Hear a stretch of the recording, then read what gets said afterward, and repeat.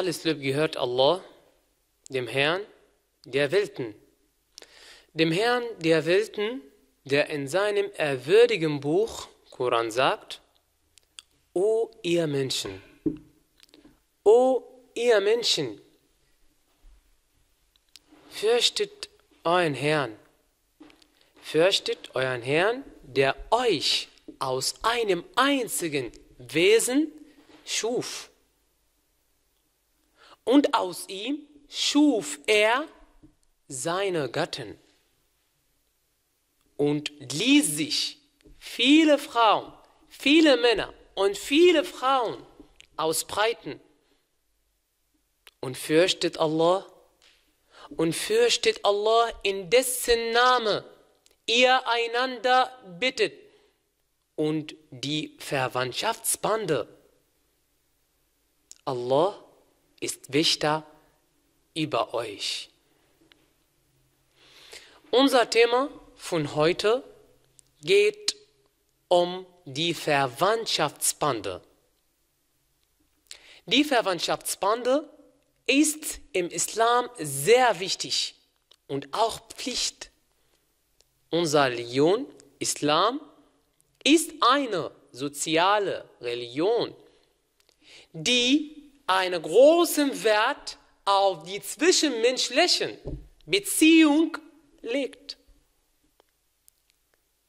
Ich führe euch jetzt folgende Verse, die uns zeigt, inwieweit der Islam sich mit der Verwandtschaftsbahn beschäftigt. Allah sagt im Koran, und verdiene oder, in, oder und diene Allah und gesell ihm niemanden oder nichts bei und behandelt gerecht mit den Eltern und mit den Verwandten. Auch in einem anderen Vers sagte der Erhabene und ließ dem Verwandten sein Recht zu kommen.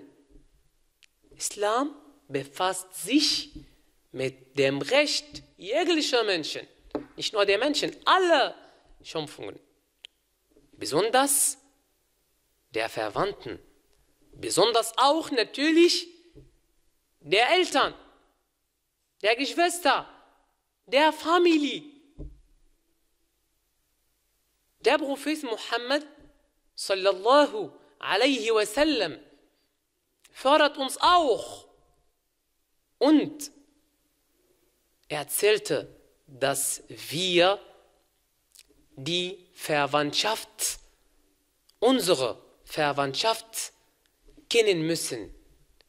Und wissen, mit wem wir, mit wem, mit wem wir Verwandtschaft haben, damit wir sie pflegen, damit wir sie pflegen. Die Verwandtschaftsbande hat eine wichtige Stelle im Islam. Und zwar, Allah hat sie durch Rahim gezeichnet. Und Rahim ist vom Namen Allahs Rahman abgeleitet.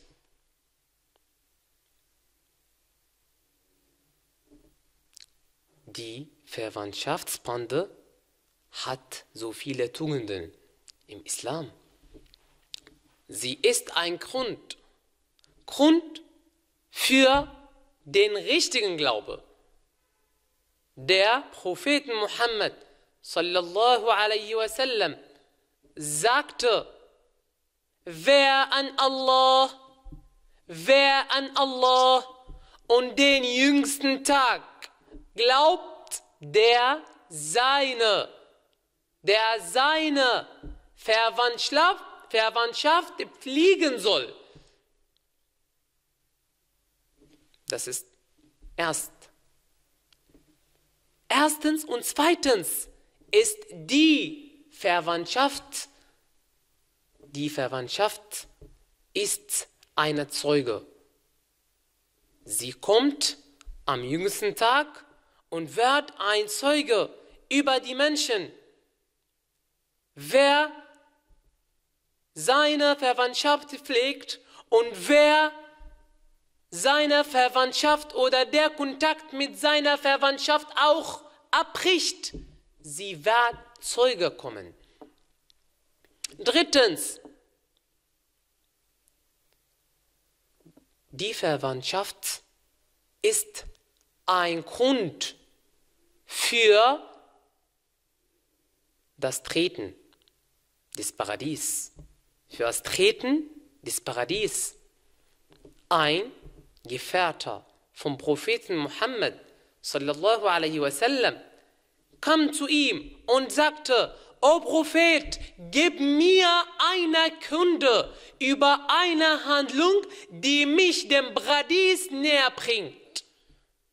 Die mich dem Paradies näher bringt und die mich der Höhle entfernen lässt. Der Prophet Muhammad entgegnete ihm und sagte,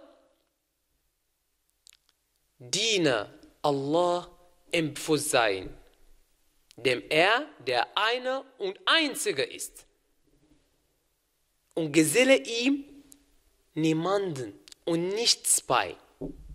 Verrichte das Gebet wie befohlen, wie befohlen. Entrichte die Zakah und besuche deine Verwandten.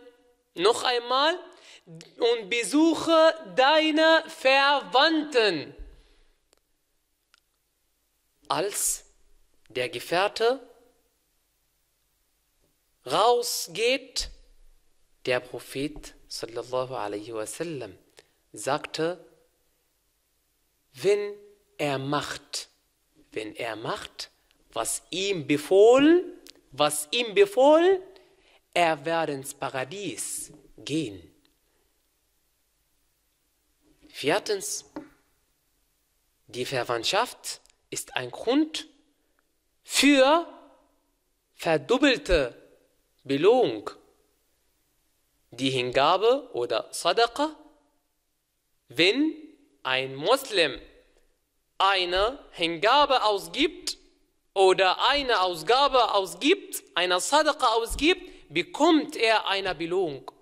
Und wenn solche Sadaqa auf einer Verwandtschaft ist, bekommt er zwei Belohnungen.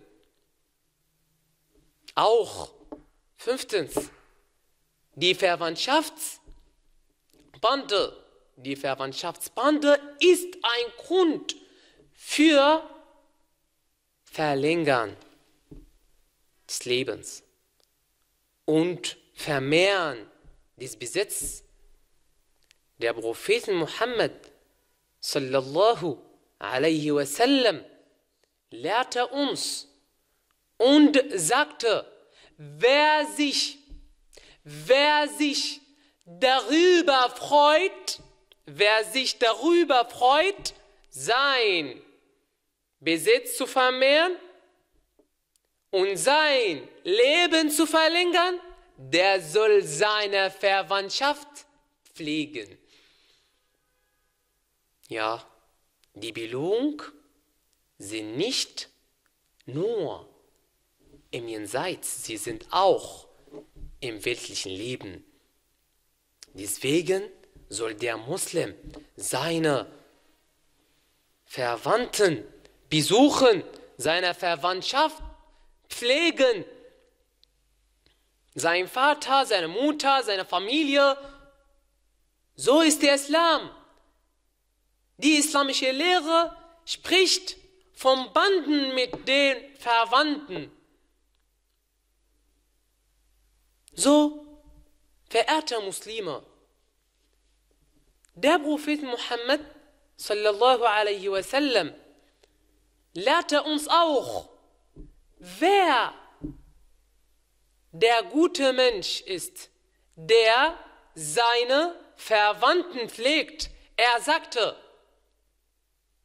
Verwandtschaft, Verwandtschaft zu pflegen ist nicht oder heißt nicht Guten, Gutes mit Gutem zu vergelten.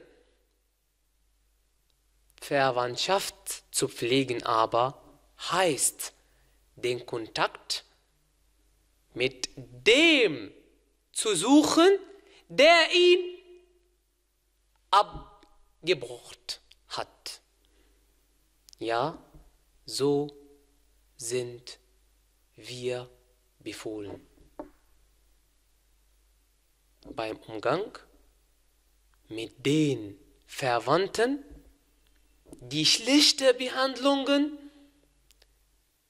mit den guten Behandlungen begegnen.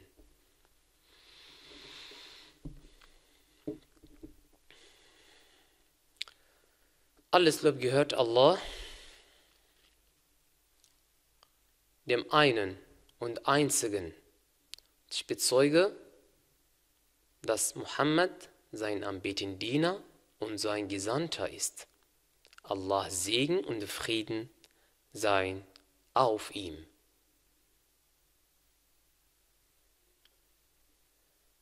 Die Verwandten oder die Verwandtschaftsband spielt eine große Rolle im Islam, in unserer Religion.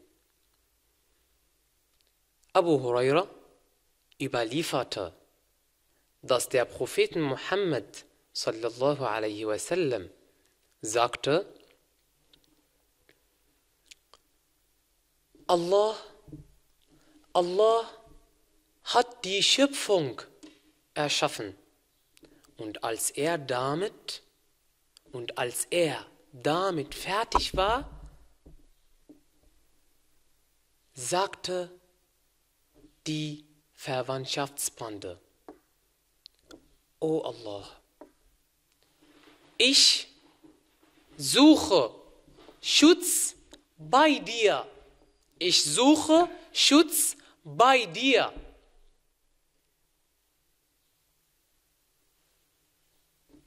Den du oder den, der seinen, seiner Verwandtschaft, seiner Verwandtschaft abbricht, der Gott Allah entgegnete und sagte, bist du damit zufrieden? Bist du damit zufrieden, dass meine erbarme dessen, den oder de, der dich pflegt und von meiner Barmherzigkeit, denn aus meiner, aus meiner Barmherzigkeit ausgrenzte, der, der den oder dem Verwandte, der seinem Verwandten abbricht, sie sagt, ja, so bin ich. Sie sagt, ja, so bin ich. Deswegen sollen wir wissen, dass die Verwandtschaftsbande eine sehr wichtige Rolle im Islam spielt. Sie hilft den Menschen dabei, das Gute unter den Menschen sich verbreiten und Egoismus wie Individualismus auch weg entwirkt. Hass und Neid aus dem Weg, aus dem Weg geräumt. Die Verbindung und Liebe stärkt und auch die Beziehung vertieft, damit die Liebe sich unter den Menschen verbreitet. So ist unsere Religion Islam. Ich beende jetzt meinen Predigt mit dem folgenden Gebet. O Allah, O Allah, O Allah, vereinige unser Herzen, erlöse uns, erlöse uns von jeglichem Bösen und rette uns von deinem Thron. Amen.